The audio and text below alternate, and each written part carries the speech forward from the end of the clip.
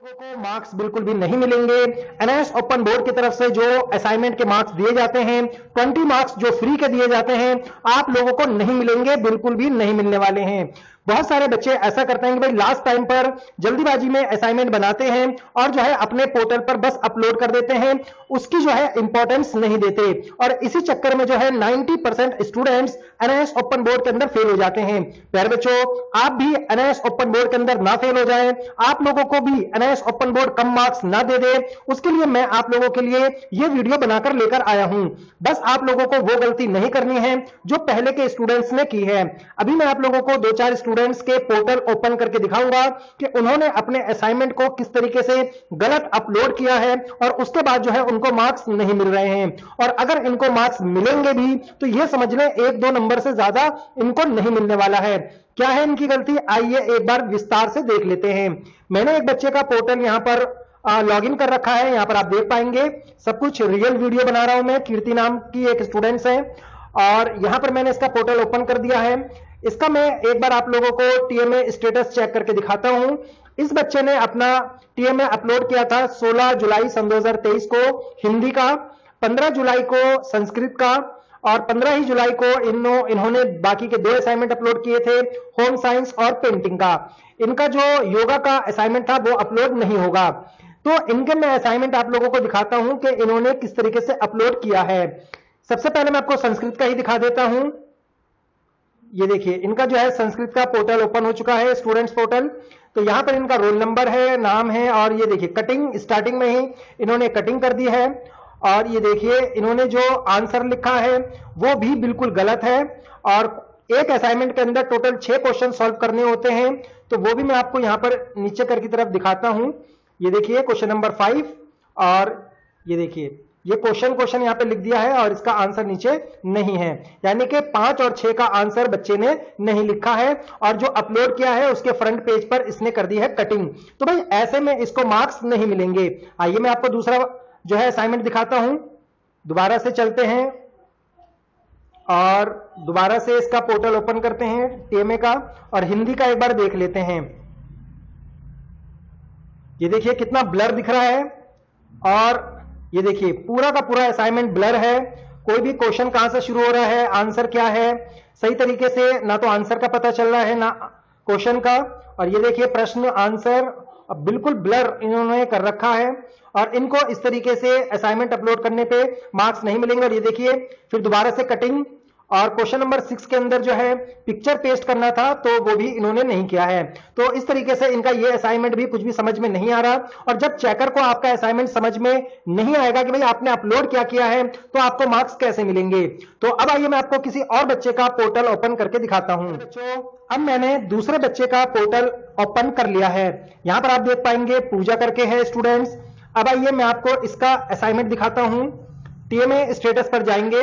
और यहाँ पर उसके सारे अपलोड किए हुए असाइनमेंट आप देख पाएँगे। यहाँ पर आप देख पाएँगे हिंदी 201 और मैं इसे अभी आपको ओपन करके दिखाता हूँ। ये देखिए असाइनमेंट अपलोड हो रहा है। ये देखिए डाउनलोड हो रहा है सॉरी और ये आपके सामने अभी ओपन हो जाएगा। तो नेम पूजा है एनरोलमेंट नंबर है सब्जेक्ट है, और अब आइए मैं आपको नीचे करके दिखाता हूँ। ये देखिए, जो असाइनमेंट अभी पिछले बार अभी जो दूसरे स्टूडेंट्स ने अपलोड कर रखा था वही असाइनमेंट सेम इस पूजा ने भी अपलोड कर रखा है। यानी कि एक ही असाइनमेंट को ये सभी स्टूडेंट्स बनाकर इसका फ्रंट पेज चेंज करके और जो है वो अपलोड कर रहे हैं। तो भाई जो गलती आ, एक स्टूडेंट्स करेगा ये देखिए यहाँ पर भी गलती कर रखी है और सेम असाइनमेंट अपलोड कर रखा है। तो जो गलती एक बच्चा करेगा वही गलती सभी बच्चे कर देंगे और इस तरीके से यहाँ पर आप लोगों को मार्क्स नहीं मिलने वाले।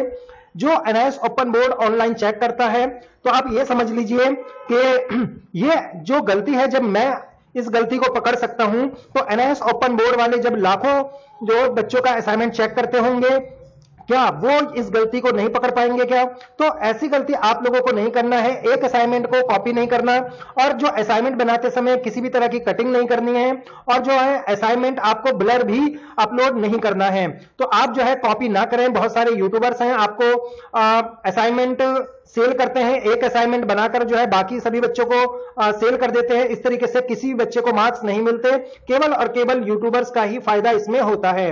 तो जो है आप ऐसी गलती बिल्कुल भी ना करें। अनएस ओपन बोर्ड के जो टीचर्स होते हैं जो आपका एडमिशन करते हैं वो भी यही काम करते हैं। आप लोगों से जो है चार्जेस ले लेते हैं और एक ही असाइनमेंट जो है वो अपलोड कर देते हैं। अब आइए मैं आपको यहाँ पर दिखाता हूँ कि आप लोगों को रियल असाइनमेंट कैसे बनाना है और किस तरीके से आपको यहाँ पर सेव करना है अपलोड करना है। सही असाइनमेंट अपलोड करने का तरीका।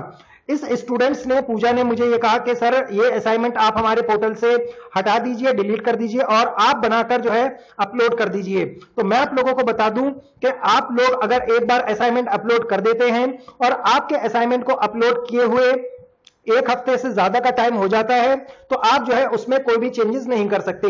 यहाँ पर अब मैं दिखाऊँगा। अपलोड टीएमए पे मैं दोबारा क्लिक करता हूँ और ये देखिए इसका जो ऑप्शन है वो नहीं ओपन होगा, यहाँ पर लिखा हुआ क्या आएगा?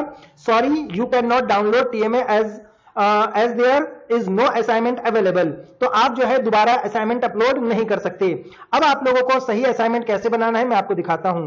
ये देखिए, इस तरीके का आपको एक साफ़ पेज लेना है और इस तरीके से साफ़ साफ़ अक्षरों में फॉन्ट को बड़ा करते हुए एड्रेस लिखना है सब्जेक्ट नेम लिखना है। सब्जेक्ट का जो कोड होता है, वो कोर्स जो है आपका दसवीं में है या बारहवीं में।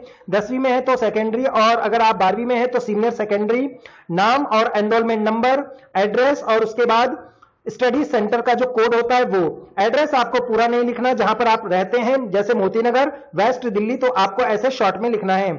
उसके बाद जब आपका असाइनमेंट स्टार्ट होगा तो असाइनमेंट जो है बिल्कुल साफ़ होना चाहिए, सभी अक्षर साफ़ अक्षरों में दिखने चाहिए और किसी भी तरह की कोई भी कटिंग नहीं होनी चाहिए। यहाँ पर आप देख पाएँगे, जो हमारे टीचर्स असाइनमेंट बनाते हैं, बिल्कुल साफ़ सुथरी राइटिंग बनाते हैं और इस तरीके से आपको जो है असाइनमेंट बनाना है और इसी तरीके से जो है अपलोड भी करना होता है। बिल्कुल साफ़ अक्षरों में लिखना है ताकि चेकर को समझ में आए और क्वेश्चन नंबर सिक्स बहुत सारे स्टूडेंट छोड़ देते हैं। आपको क्वेश्चन नंबर सिक्स तो करना ही होता है, क्योंकि वो कंपलसरी होता है। और अगर आप क्वेश्चन नंबर सिक्स को नहीं करेंगे तो आपको मार्क्स भी नहीं मिलेगा। ये आपको मैंने अभी एग्ज़ाम्पल दिखाया। इस तरीके से जो है, हम आप लोगों के लिए असाइनमेंट कंप्लीट करके देते हैं। तो प्यारे बच्चों, अगर आप एनआईएस ओपन बोर्ड के वो स्टूडेंट्स हैं, जिन्हें एग्ज़ाम देना है अप्रैल सन 2024 के अंदर, और अगर आप भी न्यू असाइनमेंट बनवाना चाहते हैं, सही असाइनमेंट बनवाना चाहते हैं कॉपी नहीं चाहते कि आपके साथ भी इस तरह का चीटिंग हो तो आप जो है हमसे असाइनमेंट बनवा सकते हैं। असाइनमेंट बनवाने के लिए आपको हमें केवल व्हाट्सअप करना है।